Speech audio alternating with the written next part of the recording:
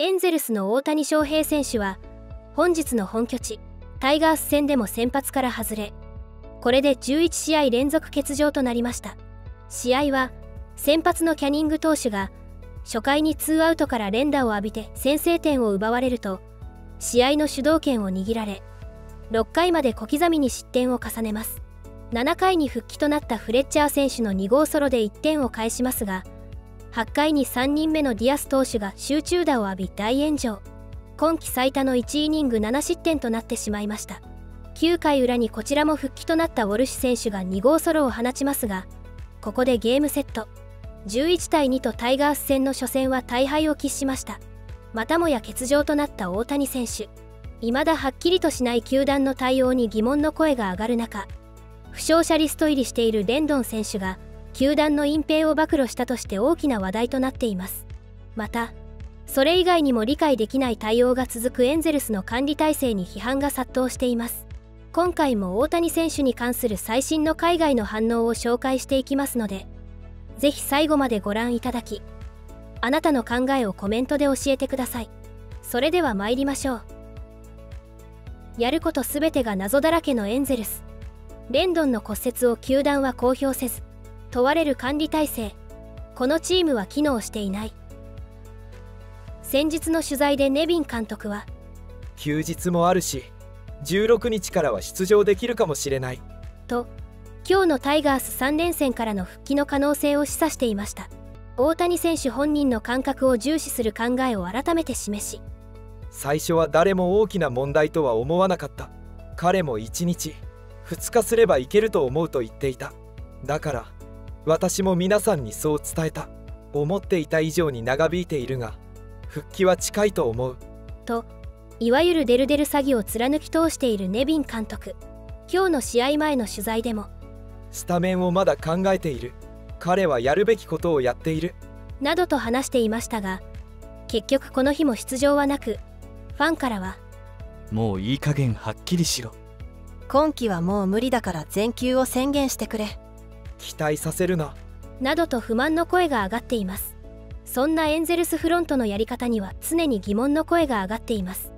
前日にウォルシュ選手とフレッチャー選手のメジャー昇格が発表されファンからは喜びの声が溢れていました。しかしこれも球団側の狙いは贅沢税の回避にあったと言われています。2人のロースターの移動によってエンゼルスの年俸はわずかに減少することになりますが贅沢税の基準値である2億3300万ドルにどれだけ近づくかによっては大幅な削減となり得るとのこと。ウォルシュ選手とフレッチャー選手は保証契約を結んでいるため彼らの給料はマイナー時代からすでにメジャーリーグの給与に含まれていました。しかし現在アダムス選手とパリス選手はメジャーリーグでの給与を受け取っていません。エンゼルスは40人の名簿に残っている限り AAA の給与を計算しますがその差は選手1人当たり1日当たり約3200ドル。エンゼルスが他の最低年俸選手ではなくフレッチャー選手とウォルシュ選手を起用してシーズンを終えた場合給与総額は約11万6000ドル減るようです。この話を聞いてしまうと単純に2人の昇格の理由がマイナーでの活躍だけを考慮したものではないので複雑な心境です。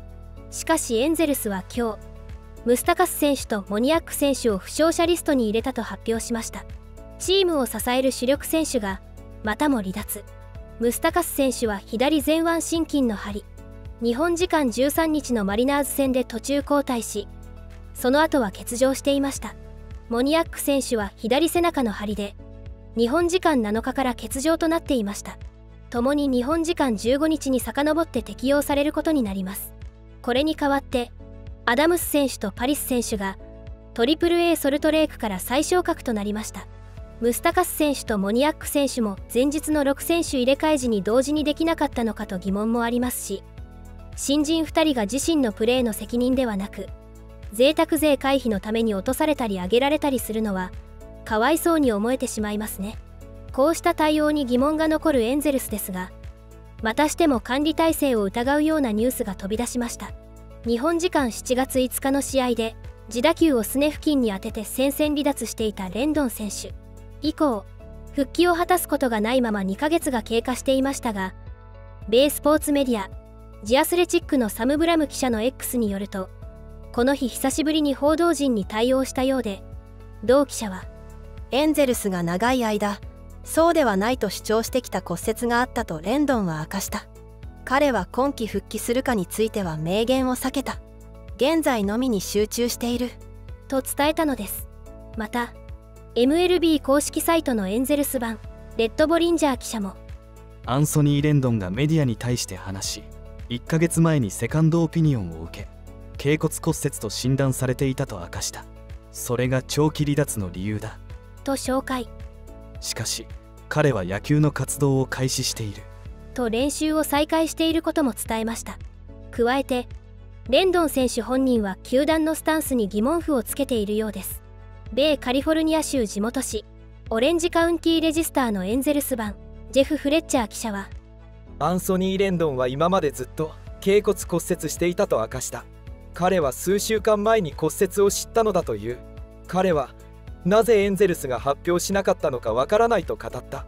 と衝撃の発言を伝えていますネット上では自打球の打撲で1ヶ月以上休んでると思われ叩かれてしまったから文句も言いたくなる。トラウトもまだ痛みがあるのに復帰してまた IL 行きだし選手管理できてないしオホッピーやスアレスも痛みがあるのに出場し大怪我になってしまった。再建するには FA 選手探すよりスタッフから首脳陣まるっと変えてくしかないのでは。MLB って怪我した時の精密検査やセカンドオピニオンって全部選手任せなんですか？大谷選手の時も GM が大谷が検査拒否したって言ってたし今回も怪我してから一月も経ってやっとセカンドオピニオンとかこれだと選手の状態を雇用主であるチーム側がきちんと把握できないんじゃないかと思うのですが日本のプロ野球とかはどうなんでしょう？それともこんなのはエンゼルスだけ？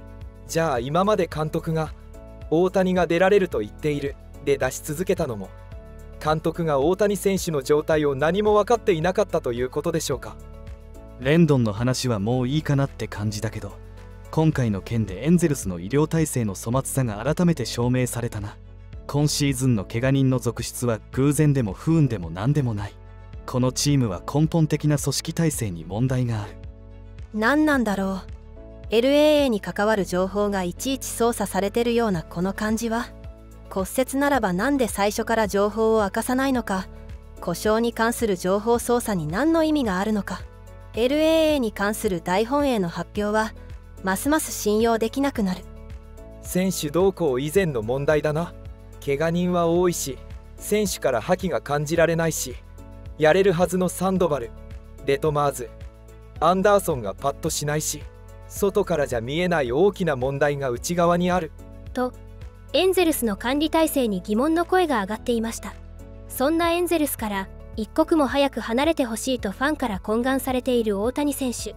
過去に生活を共にした人物が明かした。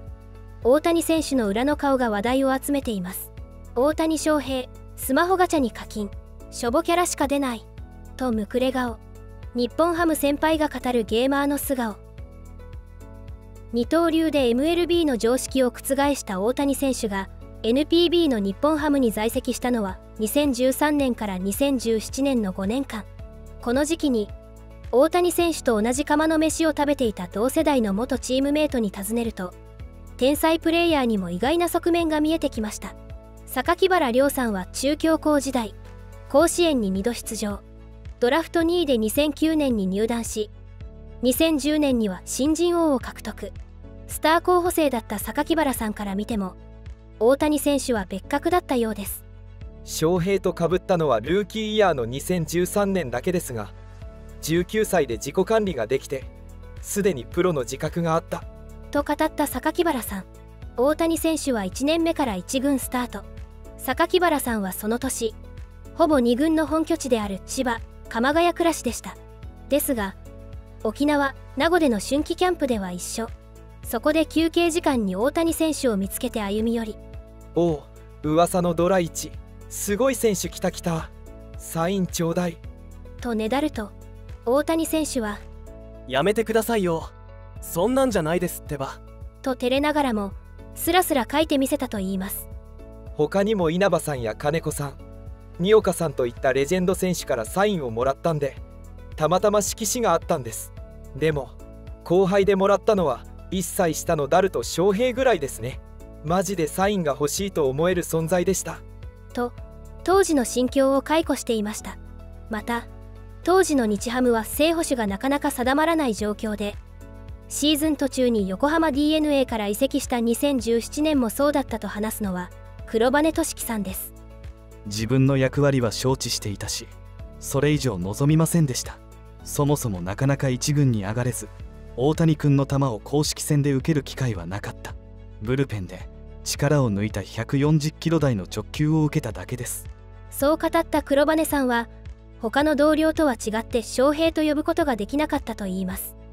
彼はマジですごい選手なわけでやっぱり慣れ慣れしい気がして彼の LINE のアカウントを知っていますし僕のインスタもフォローしてくれているのが密かな自慢ですが僕の中ではいつまでも大谷君ですね。移籍してすぐバッティング練習で一緒になり他愛のない内容だったんですけど大谷君から頻繁に話しかけてくれたんですよ。なんで？って聞くと新しく来た人に対してやっぱり後輩から先輩との距離を縮めるもんなんじゃないですかとその言葉に衝撃を受け以来人としてリスペクトしてます。と大谷選手の人間性に触れました。大谷選手の球を一軍公式戦では受けられなかった保守がもう一人いました。現在は東京消防庁大井消防署で働く荒張裕二さんです。荒張さんは日ハムに在籍した2010年から2016年の間一度も一軍登録されませんでした。だからこそファームでバッテリーを組んだ2013年の3試合は忘れられません。翔平の球はストレートでも角度がついて低めに来てあまり高めに浮かない。フォークボールも150キロ台なので受け損なうとキャッチャーが怪我します。自分の身を守るために必死でした。そう話した一方で荒張さんは大谷選手が海外しくバットボーイを務める姿が目に焼き付いているそうです。プロ1年目の大谷選手の教育係は1期上で今ではエース格の上沢直之でした。その2人が懸命に雑用をこなしていたのが微笑ましかった。と言います。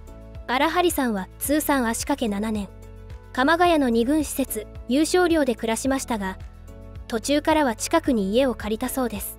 そこは大谷選手や同期が行きつけにする焼肉店の真裏だったといいます。繁華街ではなく静かな住宅地でした。その場に居合わせたわけじゃないんですが大谷の同期会をそこでやるとの情報が漏れてメディアが殺到して大騒動になったと後で店の人に聞かされました。有名人は一挙手一投足が注目され気が抜けずに大変だなぁとアメリカではもっと苦労しているでしょうけど。と大谷選手のプライベートを心配しているようでした。佐藤翔馬さんもデビュー直後の大谷選手のプライベートを目撃した貴重な証言者です。黒羽さんと同じく DNA から移ってきた戸様組でした。2014年のみ日ハムで過ごし合同トライアウトを経て2015年に広島に移り2018年に引退した佐藤さんは今愛知県にある木材の製造販売会社で働いています。初めて会ったのは名護でのキャンプだったはずです。自分は人見知りだったのでなかなか投手陣と打ち解けられずにいたのを翔平がつかつかとやってきてわからないことがあれば何でも聞いてくださいねって言うんです。その一言でどれだけ救われたか。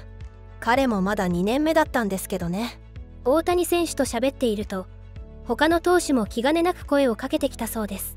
メジャーの中継を見ても例えば大谷選手とモニアック選手の会話にフレッチャー選手が割って入るなど自然にコミュニケーションの輪が広がるのがわかるといいます。佐藤さんはさらに日ハム時代僕は一度も一軍で登板しなかったんです。翔平は基本的に札幌にいましたが時々公式戦を休み調整のために鎌ヶ谷に来るんでオフには一緒にゲームをよくしました。当時投手仲間で流行っていたゲームはワンピースのトレクル。矢貫さんが温度をとって大塚さんらと寮のロビーで雑談しながらプレーしました。ファッション談義をしても。みんな服とか買ってるけど僕全然物欲ないんです。と語る大谷選手にのけぞった佐藤さん。それでも欲しいものないんだ。と念を押すと大谷選手はイラつき気味にこう答えたといいます。ガチャでのいいキャラですかね。これって何遍やってもしょぼキャラしか出ないんですよ。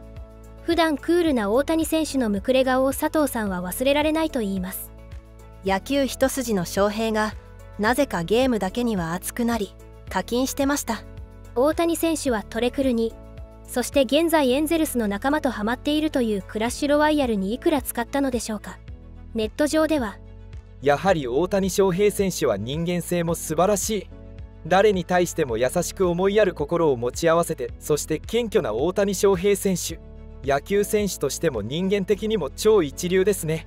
我らのヒーロー大谷翔平選手の怪我が早く回復し元気に活躍する姿を見せてほしいです。大谷君を悪く言う人がいないのがすごい。何をやっても自然体だから嫌味がないんですよね。